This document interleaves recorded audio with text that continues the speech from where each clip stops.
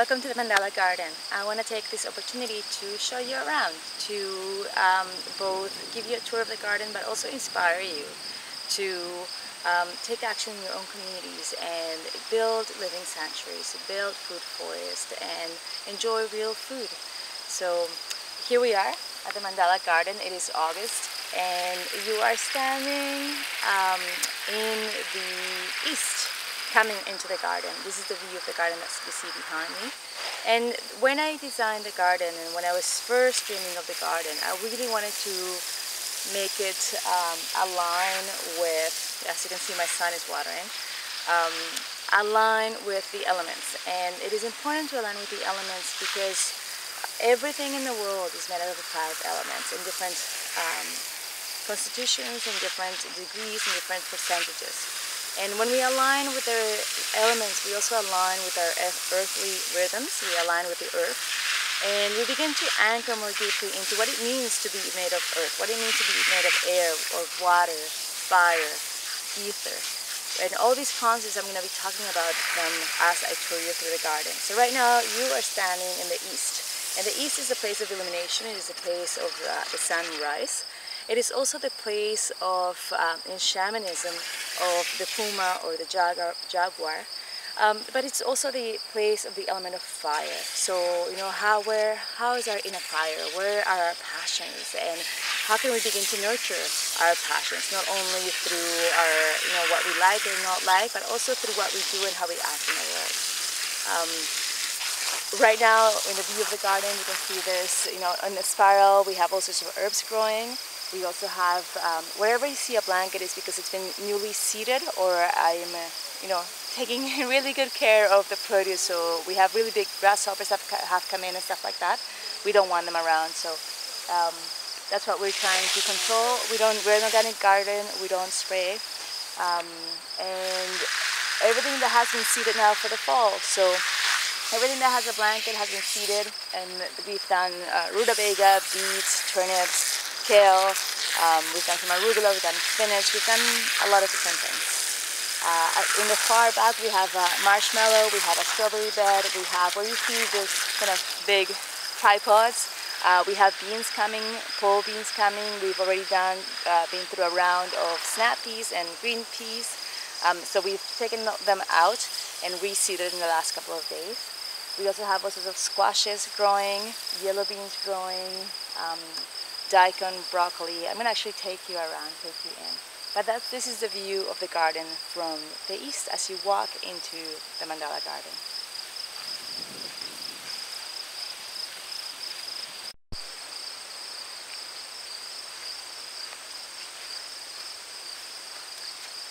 Now you are standing in the southeast and southeast is really the space of the soul purpose. It's the space of the I am. It's the space of um, that drive that leads us to act on, you know, on behalf of being of service to the world. Um, on this, from this view of the garden, you can see that we have two beautiful mulleins that have come in. Mullein is a garden plant, and it is a wild, you know, and it's edible. Uh, parts of it are edible, parts of it are for medicine. Um, but also, like, it, it's, it's come by itself, and you can see that there's two guardian mulleins just at its, you know, entrance into the garden. There's also another one on the northwest, which is pretty interesting. Is that the northwest is the place of the hummingbird, and it's standing true. Um, as you see, there's also, you know, in pretty much in every direction, mullein has come into the garden and it's standing tall and true. Um, we are growing on this bed, we're growing some daikon, we're growing some um, kohlrabi, we're growing some uh, broccoli, we have squashes coming in, kale is under the blanket as well. We've recently reseeded part of it. Um, farther back you can see some tomatoes, you can see some Brussels sprouts, and I'm going to bring you in closer this time.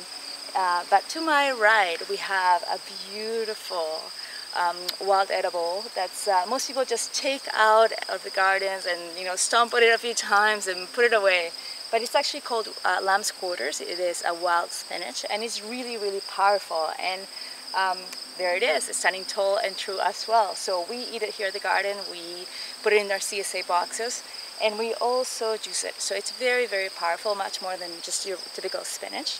So don't throw it out. um, we have uh, also like all the all the sunflowers and I love you know putting them in the garden. Some of them we plant uh, from seed and some of them just come and I find it really interesting this year. Last year we had them all around the herb spiral and we tried to do it again this year but it didn't happen and they've kind of come wherever they wanted to come this year. So we let them be. Um, the place where you're standing uh, is really an important place and when I was dreaming again of the garden um, I wanted that connection to purpose. The garden, this mandala garden here at the Real Ranch, it is a living sanctuary. It is a place of healing. It is a place of transformation. It is a place of transmutation, of development, of shape shifting. It is a place of beauty, of creating beauty, of anchoring into beauty. It is a place of really tapping into Mother Earth and, you know, being of service with what comes through us. Sometimes we think that perhaps our life or even the Mandala Garden is something that you know we've made. But it's really the life that pulls us forward. It's really the dream that's you know dreaming itself alive through us. Um, and I wanted to create a container you know especially here in the West we have very few spaces where we can really come as a community and connect with each other connect with ourselves and connect with the sacred life that you know that is our everyday but often we don't tap into that aspect of it um, yeah so that was a big uh, intention for creating the garden. That was a big anchoring in the development of what has happened in the garden and how we use the garden. The garden is not just a, a place where we grow organic food, it is a food forest and it is a place of high energy, it is a place of ceremony, it is a place of meditation, it is a place of tapping into oneself and one's, you know, one's source. So there you go. The view from the southeast and it's also the view from that space of um, that draws us forward in right action.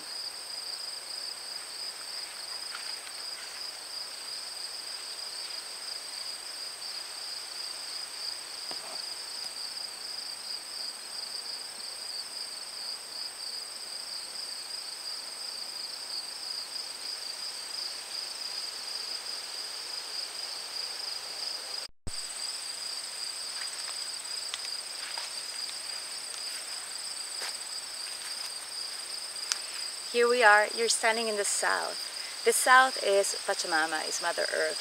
It is, um, the, the element of the south is ether. Eh, sorry, it's earth, not ether. the element in the south is ether. Uh, here we go again. The element of, I think ether really wants to speak through me right now.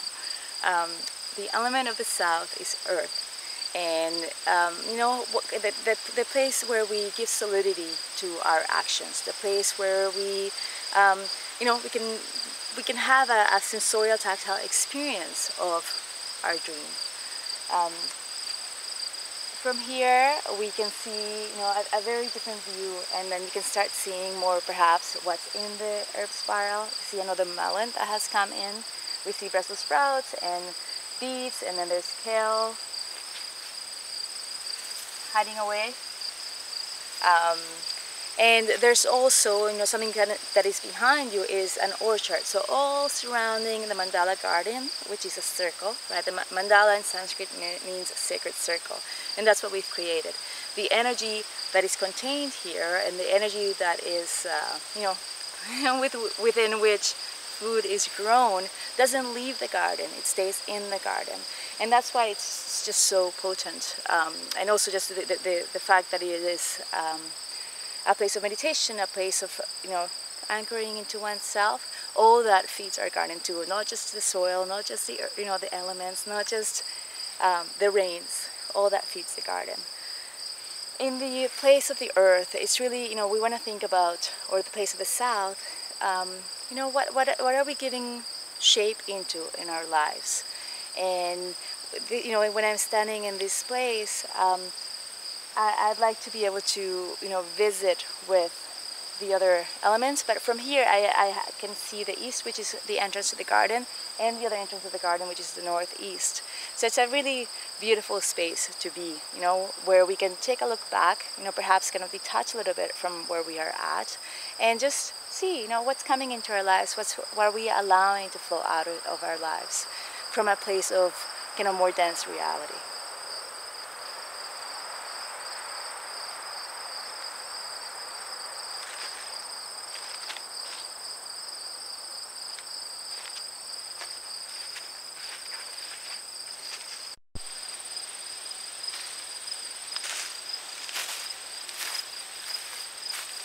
Now you're standing in the west looking into the garden and as you can see it looks like a mass like a massive jungle right now.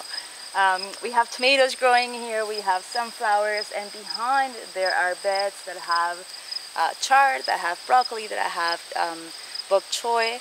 We have a beautiful um, plum tree. It is uh, part of the orchard and it is also our first, the fruit, first fruit that's coming into the garden. Most of our trees were very young when we planted them. So we're very much looking forward to enjoying our plums this year. Um, but the, the west, and you know, the west is the place of water, but it's also, so the element is water. Um, the animals are the whale and the dolphin, but it is also the place of where it's an emotional realm. And you know, I think it's quite interesting that it's just so busy and dynamic would be the right word to use. Um, yeah, very dynamic. And it's, you know, as we are, we're very dynamic emotional beings, right? At least I am. Um, so there you go. Um, we have also a very big, I don't know if you can see it right now, but I'll go that way soon. Um, a very big blackberry bush that's kind of very alive as well. We have beans growing, pole beans growing, and there's fennel, and there are cabbages growing, different lettuces, and here we are standing at the west.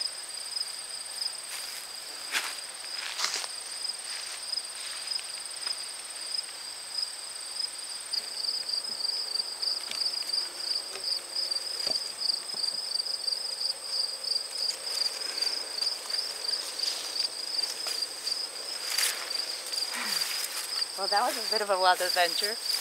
Um, now you're standing in the north and it's a much clearer view, isn't it? The north is the place of spirit. It is the place of the element of air. It is a place of condor and um, eagle and it is the place of spiritual guidance, spiritual clarity. Um, you know, we were just in the west and it was quite the jungle, right? So I, I love just the symbology of it all and just how the garden grows in whatever way the garden wants to grow.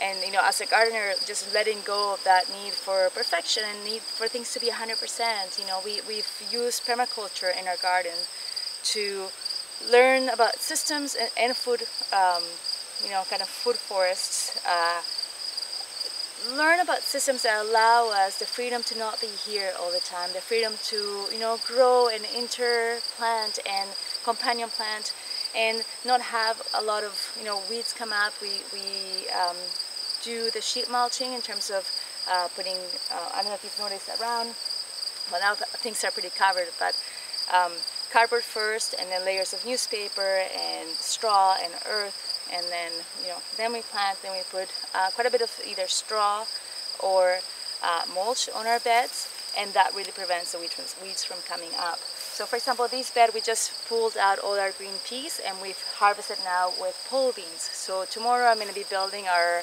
little antennas a little tripods over here and then those beans are going to start growing. Um, we have squash and I love look at that look at the leaf of the heart you know it's it's, it's just beautiful. Um, we have another mullein, which is very interesting and again powerful. Right behind you actually, when I first started to scan, um, there's a really beautiful mugwort and motherwort and you are kind of surrounded in this horseshoe of tomato plants. Um, that's where you're standing. And we can see from our east, we can see our entrance, we can see our you know garden shed, we can see our zucchini plants, and this is Phoebe, and we can see our cucumbers, we can see our watermelons. We have a few watermelons growing this year. We have chard, broccoli, again, uh, chicory. We have different lettuces. We have another mullein right there at the northeast. Um, but it's a much different scenario and space, right? The clarity that you have right now versus the clarity, you know, the kind of abundance of wildness that was um, in the west. So enjoy the view from the north.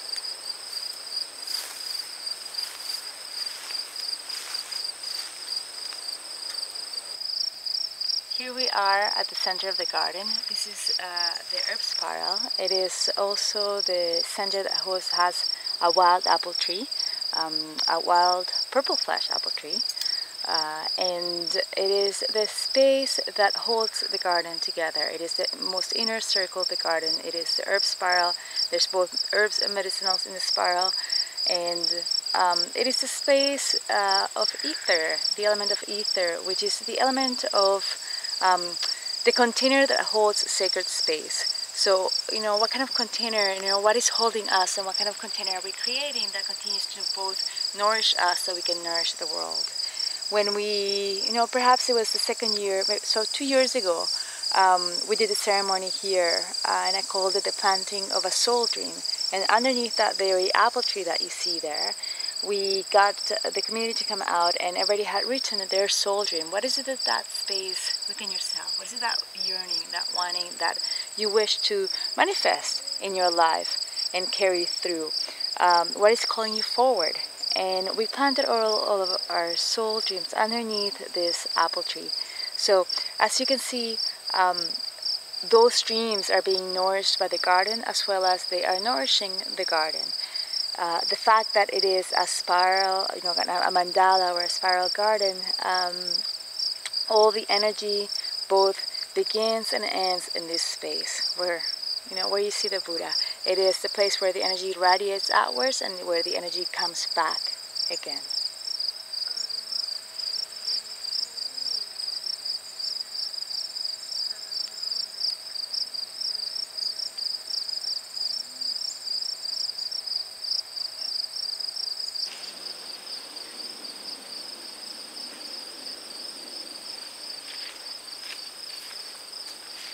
So here we are in the northwest, the place of the hummingbird, and the hummingbird is a very special being and it's a special ally that allows us to travel in between worlds, that allows us and guides us into being in, you know, the kind of direct communication with the one source, with spirit, with the God of your own understanding. Um, I stand here with edible flowers from the garden and we have marshmallow, which is that big tall plant right there. We have cornflower, we have borage, and we have nasturtiums. And it is really um, my intention, my hope, and my dream that through touring our garden and um, you're able to anchor into this space as a living sanctuary. And I want to ask you one more question. You, know, what is your soul dream? Um, when we first started the garden, you know, I started dreaming of this space perhaps seven years ago. Five years ago, we got to, into this um, land and we started building perhaps about four years ago. Um, back then, believe it or not, this was an empty field of grass. Yet, you somebody had a dream. What was growing here before us, I don't know. Yeah, but all the cedars were here. The cedars are in the shape of a large rectangle and the mandala garden is in the shape of a sacred circle. Um, so what is your soul dream and can you you know, can you, can you quiet yourself enough to anchor into this living sanctuary and allow your heart to guide you, allow hummingbird medicine to come to you and guide you.